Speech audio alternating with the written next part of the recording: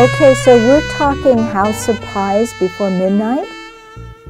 Eh, because, you know, you got to show up before midnight, otherwise my pumpkin turns into a 1969 Corvette and I hit the 101. Joe, listen, I got to ask you something. Just to get this straight, just so it's a matter of public record, you're crawling back to me, right? You're not crawling. He wants everybody to know he's not crawling. Okay, so how do you want to spin it, Joe? Ah, okay. I approve. I guess. See ya. He's not crawling back to me. He just rethought things.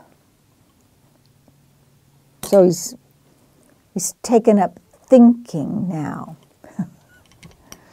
hmm. And I told him I approve. But we don't want to talk about Joe. We're not going to talk about men. Not that much this time. We're going to talk about women. I'm going to talk about people's idea of how women appear in film noir, which is not entirely always right. People think uh, all the women in film noir are stereotypes, but that idea in itself is a stereotype. It's not necessarily always true. For instance, um, there's uh, the movie called Raw Deal, directed by Anthony Mann. This principal character in that movie played by Claire Trevor, she narrates the whole movie. It's from her point of view. And her situation is that she helps the man she loves breaks out of prison. He breaks out of prison. She's his getaway car, right? And she's his outside person who helps him do it.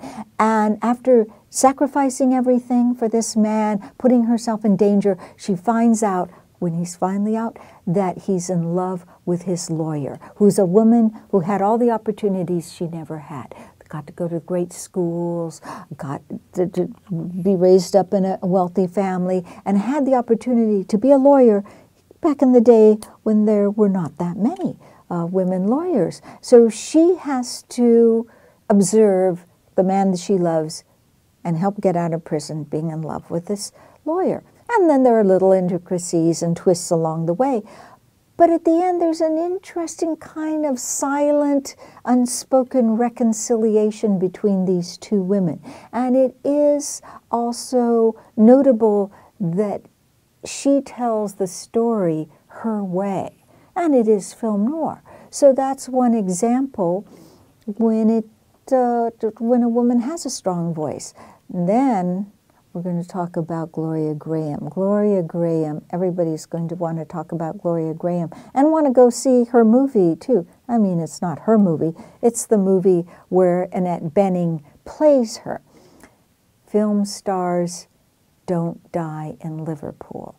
And it is based on the tail end of Gloria Grahame's pretty, well, I would say sporadically scandalous life, scandalous even by contemporary standards.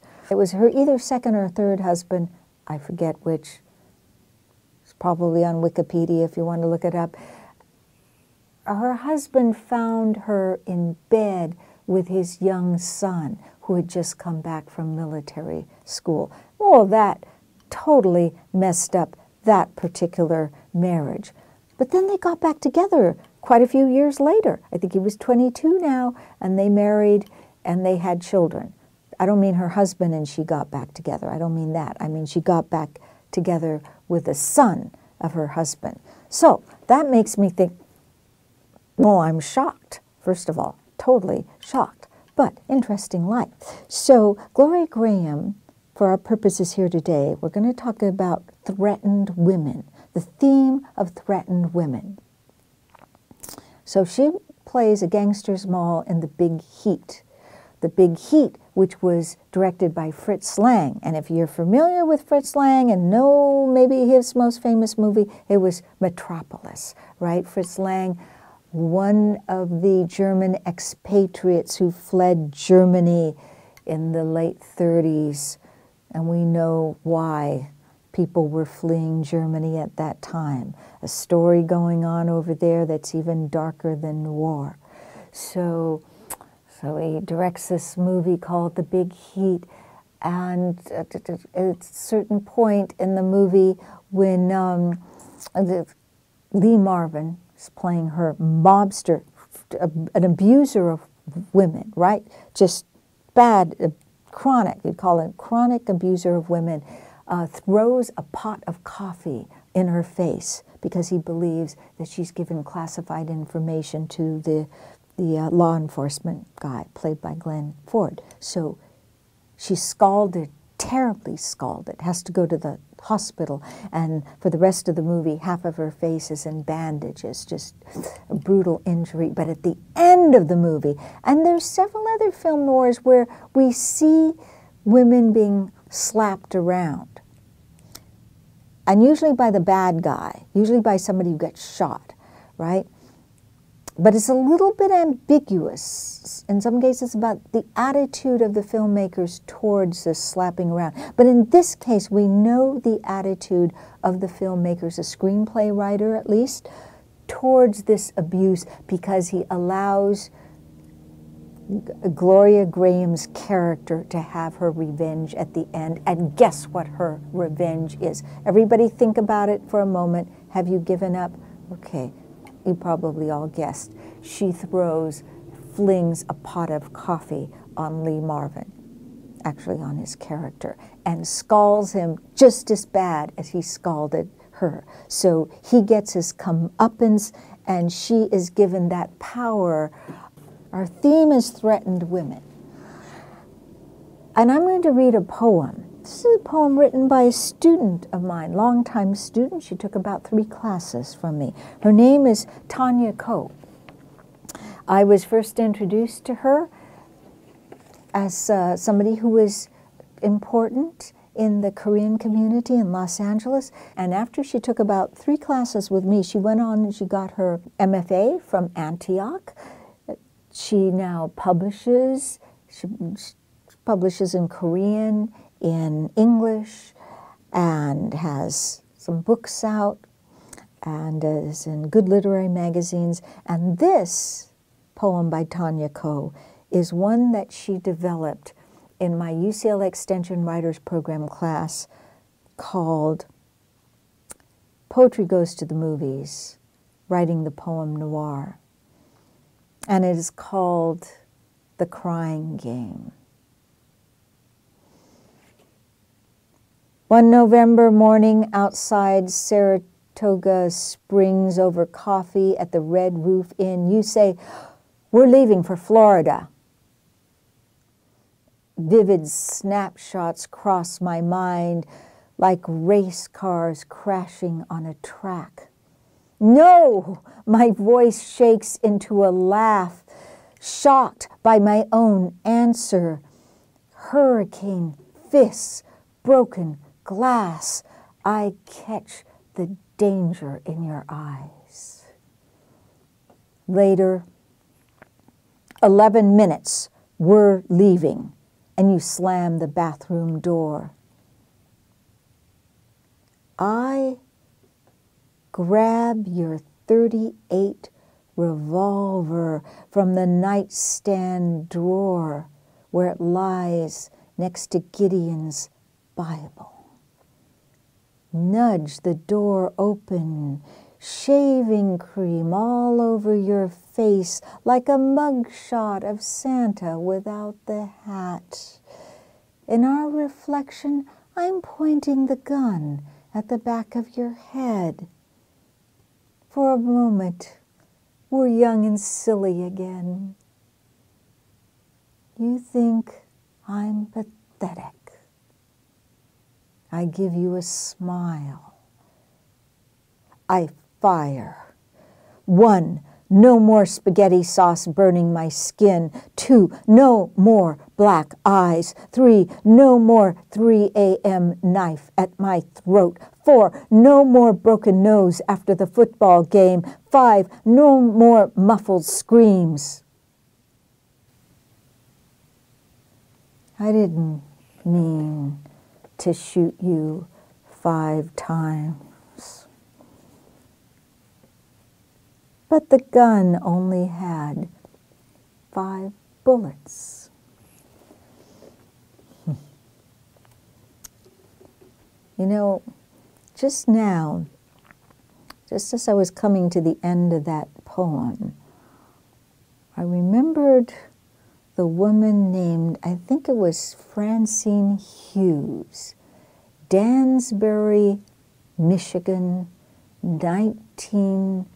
1977, who had been abused for over 10 years.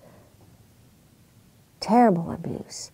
And on the worst night, after he attacked her and assaulted her and raped her and threatened her and burned her school books so that she couldn't go to night school, which she wanted to do. Um, he fell asleep on his bed, drunk. She poured the gasoline around the bed as he lay snoring and set the bed on fire, put her children in the car, drove herself to the police, turned herself in. That was a test case in the legal system. She was not sent to jail.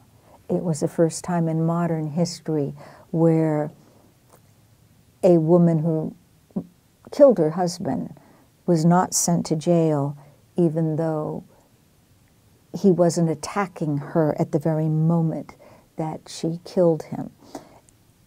Since then, there's a new criteria and if the woman can show that she's actually that she has PTSD or has been traumatized by years of violence, um, she doesn't always have to go to jail.